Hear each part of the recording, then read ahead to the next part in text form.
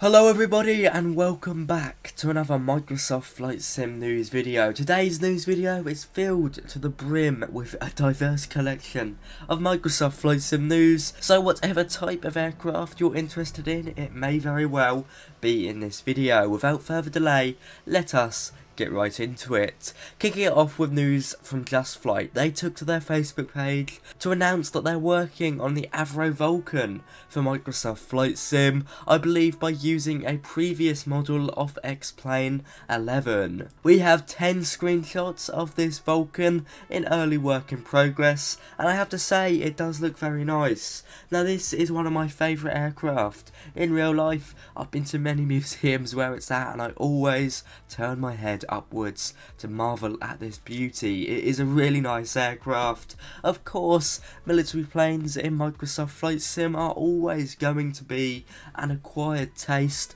Of course, Just Flight have got a lot on their plates at the moment, from the Fokker F28 to the Avro RJ to the Tomahawk to Bluebird Simulation 757, who they're working in partnership with. That means that you probably won't see the Vulcan until the middle of 2024, my personal prediction, and for those of you on Xbox, it is the plan to bring the Avro Vulcan onto there, pending WASM support. The screenshots are very nice and I've linked the Facebook page down below, but that's all they are at the moment, just screenshots. They are absolutely stunning, but of course we need more information before we can make any judgments or conclusions. It will be payware, and as I said, coming to both PC and Xbox when applicable.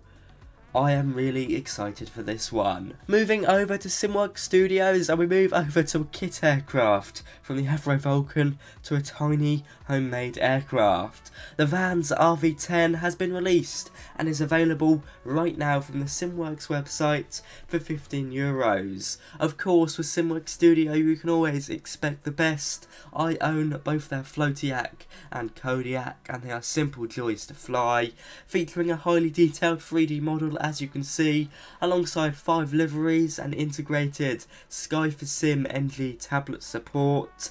This is a wacky little aircraft. Luckily no assembly is required, Simworks Studios have kindly built it for you. I think it would be very cool to have a kit aircraft. Maybe if I ever walk into loads of money I might pick one up. But yes, for a little aircraft, it looks to pack a punch. I haven't got it myself, but if you have, leave your thoughts down below. Simworks Studios, they never really miss. Their products are always very good, so I would recommend you check it out on their website. Now we move over to the 757. I did tell you there's plenty of different aircraft in this video. EH Aviator, or however you pronounce his channel name, has published a 2 minute long video on his YouTube channel explaining some of the more unique features of the 757. Now quite nicely, the guy who did this video, he is a 757 and 767 pilot in real life. It's always fantastic when real life pilots bring their expertise over to a development team. And he explains some of the more unique features of the 757 as I've said. I would recommend you check out the video, you can find a link to that down below. You can definitely learn a lot of this video. I for example learned that the 757 wasn't shipped with taxi lights as standard, it was an optional extra.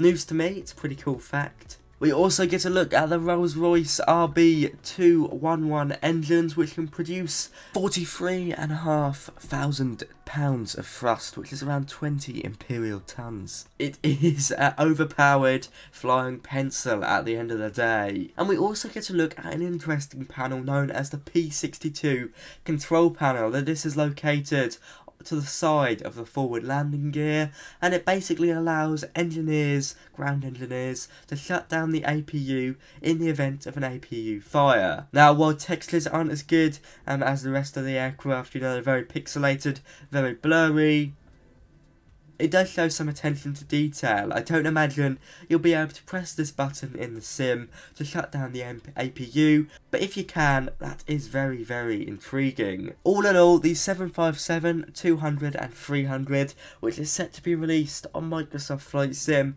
as payware for Xbox and PC, is set to be pretty realistic. Bluebird Simulations have been honest off the cuff and have said that this is not set to be a 100% quote study level aircraft. They're aiming for high fidelity, but they understand uh, for the development team of their size, it's not possible, and therefore they just want to make it as high quality as possible. I respect the honesty there, and that is why I'm very excited to see this project develop. The idea that they're also working in partnership with Just Flight does push me on a bit. When they're working with a reputable developer like that, it means they've got some good backing behind them. Do go check out the two minute long video released on YouTube on the 31st of January. I would recommend it, a great insight into some of the more unique features of the Bluebird simulations Boeing 757 for Microsoft Flight Sim.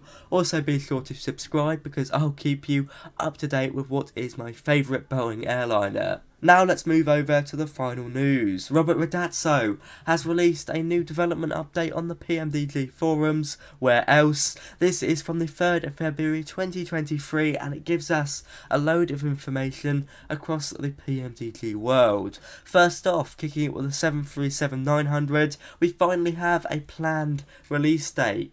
The final variant of the 737 Next Generation family by PMDG, it should be released sometime after 1800 Zulu on the 7th of February 2023. Of course, this took a bit longer than planned. PMDG team did, I believe, want to release this in January, but they're now happy with this aircraft, so release is not too far away. To talk about pricing, he does say pricing is expected to land somewhere between the 600 variant and the 700 slash 800, with final pricing set to be announced at release time.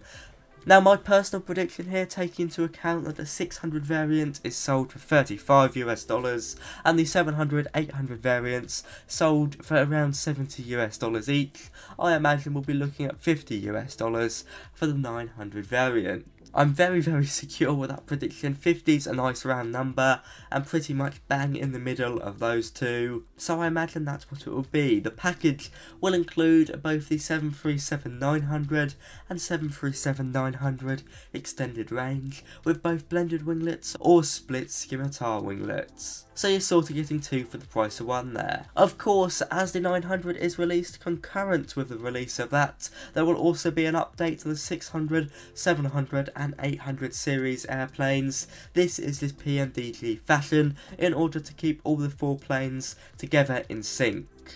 These updates will be released and they'll be focusing on smoothing out some annoyances, bug fixes and improving airplane ground handling. Now I can hear that on the tip of your tongue, I can hear you asking in the comments where is the EFB? Where is the Universal Flight Tablet? It's been delayed um, numerous times now to the point where PMDG aren't providing an exact release date anymore. They've clearly encountered some issues. Now the problem seems to be, from what Robert is saying, is just the fundamental code of the iPad, the EFB, the C++ code behind it and it does mean that an external application will have to be used in order to get it working, which I don't believe was the original intention of PMDG. They wanted everything in sim, but it does seem now that in order to get an EFB working, they will need to have some sort of external application, much like fly-by-wire's uh, SimBridge and the one with Fenix as well, although I've forgotten the name of that, so I do apologise. All in all, while the delayed release of the EFB, the rolling delayed release I should say, is somewhat annoying, I don't think it ruins the experience somewhat, it is just a bit inconvenient. It does mean, of course, you'll need to head outside of Microsoft Flight Sim to complete performance calculations, but aside from that, I don't think it is too much to ask.